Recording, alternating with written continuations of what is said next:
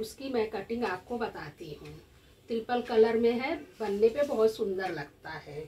ये देखिए ऐसे ऐसे दो पीसेस मैंने लिए हैं। हम्म, उसको डेकोरेट करने के लिए अच्छा बनाने के लिए। ये देखिए ऐसे मैंने ब्लैक और रेड दो और कलर ये ऐसे फोल्ड करके इसको ये यहाँ पे साइड से ऐसे लगा दिया है। इस तरह ये लगाऊँगी। ये देखिए बीच में इसको ऐसे लगाऊँगी। इसको लगाने के लिए मैंने पहले से ही ये ऐसे फोल्ड करके ये ऐसे लगा दूँगी। इधर से फोल्ड करूँगी इधर से करके। मैं आपको इस बताती हूँ लगा ये देखिए इस तरह मैंने इसको जोड़ लिया है। बाद में इस तरह कपड़े जो होंगे उसको कटिंग कर दूँगी। ये देखिए ऐसे लगाने में आराम रहता है कपड़े को।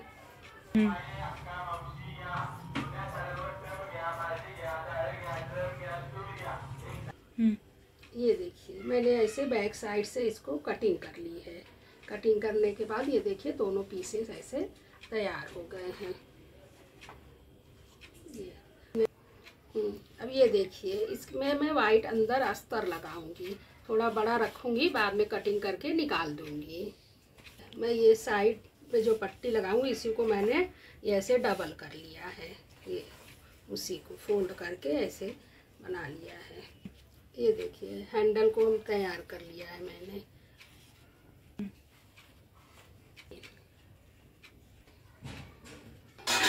ये देखिए पाइपिंग इसका पाइपिंग लगाऊँगी।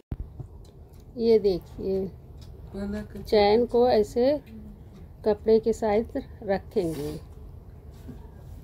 और धीरे धीरे आराम से बराबर से सिलाई करते हुए लास्ट में लगभग एक पाँच इंच पे छोड़ दीजिए उसको, क्योंकि वहाँ पे बाद में सिलाई करने में आराम रहता है।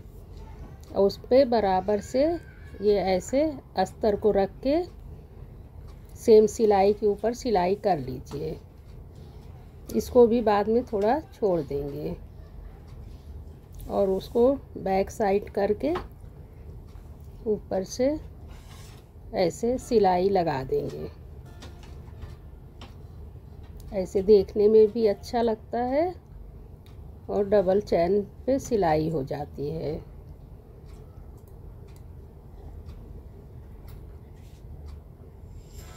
थोड़ा बाद में छोड़ना ना भूलिए क्योंकि बाद में पाइपिंग लगाने में आराम रहता है। ये देखिए जितना चैन उधर आपका छूटा हुआ है उतना नाप कर इधर पहले छोड़ के फिर सिलाई लगानी है। कम ज़्यादा नहीं होना चाहिए। ये देखिए ऐसे दोनों पल्ले दोनों रखने पे बराबर आएँगे। अब मैं ये आपको हैंडल लगाना बता रही हूँ। दोनों साइड मैंने चार चार इंच छोड़ के फिर बीच से लगाया हुआ है। ये देखिए।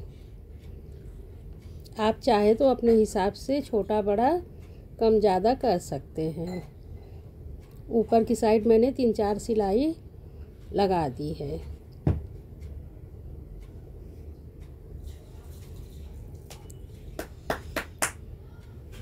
ये इस तरह मैंने दोनों तरफ़ इसको ज्वाइन कर लिया है।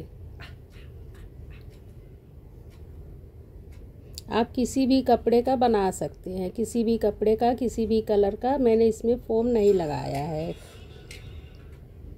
अस्तर को ही मैंने डबल कर दिया है। ये देखिए, मैंने थोड़े ऊपर से ज़रा फोल्ड करके इसको एक अंदर की साइड विदाउट जिप पॉकेट भी लगाया हुआ है। बराबर से रख के इसको दोनों तरफ़ से सिलाई लगा दी है। ऊपर नहीं लगाऊँगी।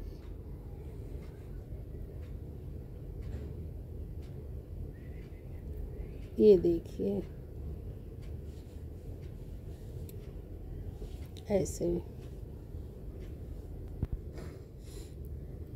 देखिए, दोनों में हैंडल, जीप लग के ये पूरा तैयार हो गया। अब मैं आपको बगल की पट्टी लगाना बता रही हूँ। एक इंच ऊपर छोड़ के फिर पट्टी लगानी है। ऊपर साइड एक इंच छोड़ देंगे दोनों तरफ़ से। ये देखिए। इसको चारों तरफ़ से लगाना है।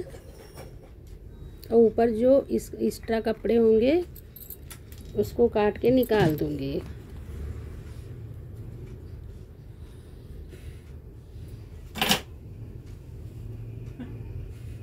ये देखिए, काट के निकाल दिया है। और थोड़ा अंदर को फोल्ड करके ये इस तरह थोड़ा छोड़ के ऊपर से ज्वाइन कर दिया है। अब सेम उसी तरह मैं पाइपिंग लगाऊँगी। सेम सिलाई के ऊपर लगाइए तो अच्छा दिखता है, सिलाई नहीं दिखती।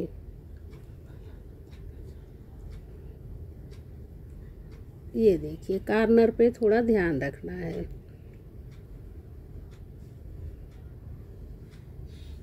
ये उसको अब उल्टा करके इस तरह।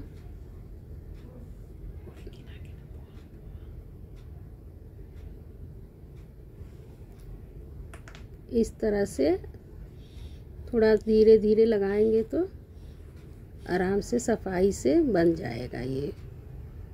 नहीं तो बीच में प्लेट आने लगती है। ये देखिए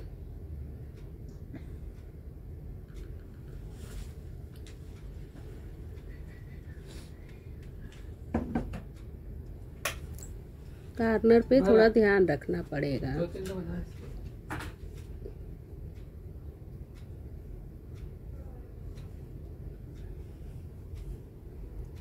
पाइपिंग को ऊपर नहीं छोड़ेंगे पाइपिंग को पूरा ऊपर से लेकर लगाएँगे। अब ये देखिए मैं दूसरी तरफ़ ऊपर एक इंच छोड़ के फिर सेम उसी तरह पट्टी की सिलाई करूँगी। ये देखिए, अब ये दोनों तरफ़ तैयार हो गया। अब मैं इसको चैन पैक करने के लिए बना रही हूँ। लगभग तीन, ढाई, तीन इंच का फोल्ड करके। इस अब ये देखिए, मैं इसमें रनर डाल के इसको अभी जो वो छोटा पीस मैंने तैयार किया था उससे पैक कर दूँगी। तीन चार सिलाई लगा दीजिए। ये देखिए अब ये तैयार हो गया। आप किसी भी कपड़े का बना सकते हैं। तीन कलर